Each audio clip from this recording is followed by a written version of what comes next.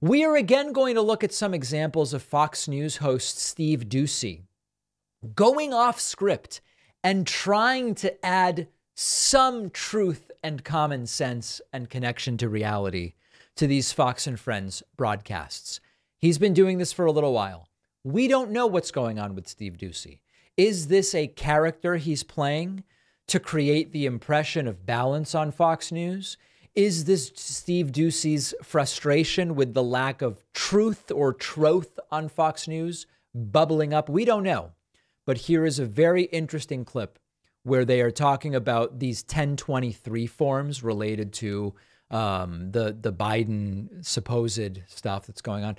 Okay, and Steve Doocy mentions the fact that the 1023 wasn't released is not really suspicious. He talks about the 1023 form and he talks about Wray not handing over this letter until he found out that Chuck Grassley had already seen the letter. Um, so I, am interested to see right. see how this is going to play out. But but it is something that Christopher Wray was so protective of this certain document. And Congress had to threaten him by saying, not just because they have oversight, but saying, you know, Christopher Wray, I already know the contents of this letter. You better release it or I'm going to haul you over. Right. But historically, the 1023 is never released because it's just a work product of, of the agent or agents who took the thing. Usually it's another form that winds up uh, in the public venue. So you understand that with that one statement, Steve Doocy totally rejects the entire conspiratorial use of the lack of 1023 being made public. The argument that Doocy's co hosts and many right wingers have been making is with regard to this alleged whistleblower and the Biden crime family and all these different things. It's suspicious. Christopher Wray has been working to hide the 1023, and then they refuse to release it. And Steve Doocy goes, Yeah, that's an internal document. They're almost never released it instantly debunks the whole story. And one line instantly debunking the whole story is quite common on Fox News. Here's another good one from the same episode. In this one, Steve Doocy mentions, by the way, everything that Republicans are considering impeaching Joe Biden for is completely unverified. Oh, th- well, that kind of defeats the whole point of the impeachment, doesn't it? Kevin McCarthy has brought up the the I word, the impeachment question. Uh, and he's calling it an inquiry. This is what he had to say and the reasons why they're considering this. Watch. Yeah. You've got IRS. Okay, so then they play the entire Kevin McCarthy statement, which we have uh, already talked about before. Okay, and then they go back to the hosts. So it's not an impeachment. It is to get all the information. Mm-hmm. Then we're going to inquire: Is there is this an impeachable offense? Right. We've we've seen this movie a, a couple of times before.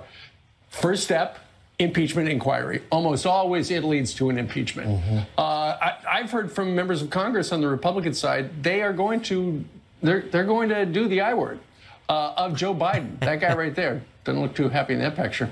Uh, and they're going to use the 1023 form as the basis for everything. Here's the problem. Uh, and we'll talk to Miranda Devine about this here in about a half an hour, is the 1023 form makes a damning case against the Bidens, but it's completely unverified. And in fact, there are certain critical parts of the story that have been refuted by the people in the story. So, so it, it it's problematic, but yeah, that's an understatement. And so that's why Kevin McCarthy says we need other stuff. So st- again, Steve Doocy saying you know, there's a little bit of a problem with this entire impeaching Biden thing.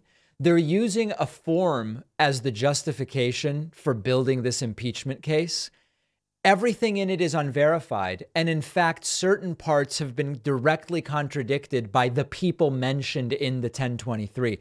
So it's a little bit problematic, Steve Doocy says, the understatement of the century. I don't know what is driving this with him, but uh, it is interesting to watch. Some other recent examples, and uh, remember that the Decoding Fox News account on both Twitter and Threads covers this Doocy, uh, I don't know, Dr. Jekyll, Mr. Hyde sort of thing, or whatever it is. Here is Steve Doocy mentioning, hey, you know, a lot of the things that they're accusing Biden of, even if true, it's not actually clear that they're crimes. It is unclear what the joint venture is or was uh, and if it was just for Biden corruption, then why did they have other entities like uh, they had? They mentioned Hudson and some other partners as well. If it was just to influence a former vice president, which I don't know if that's illegal. Uh, why exactly were there so many other moving parts?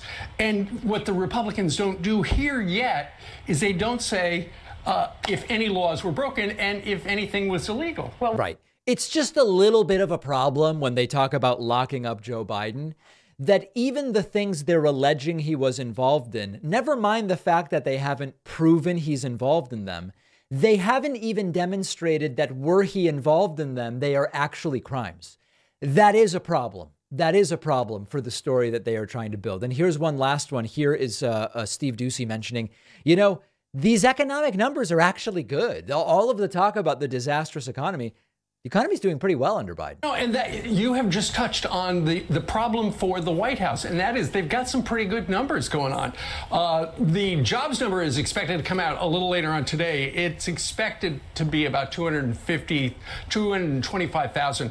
Unemployment is expected to drop down to 3.6%. Yesterday, there was a blowout number. ADP said that a, about a half a million jobs were added in June. The construction sector itself added 97,000 jobs in June. That's the biggest increase month over month in a decade. So they've wow. got these pretty good numbers, but the White House is stuck with a couple of people who are having a problem selling it because people don't feel like things are very good. Okay. So I don't know what's going on with Steve Doocy. I like it. I don't know how much it really does to influence the audience of Fox News. But if you pay attention during these clips, it visibly annoys his co-host Brian Kilmeade, who's like, "Oh God, Doocy's doing it again." We don't know the orange, oranges of this. We don't know the uh, point of it. We don't know the motivation. But uh, I love it, especially if you're talking about the summertime, as Don Jr. once said. Especially in the summer, I absolutely love it.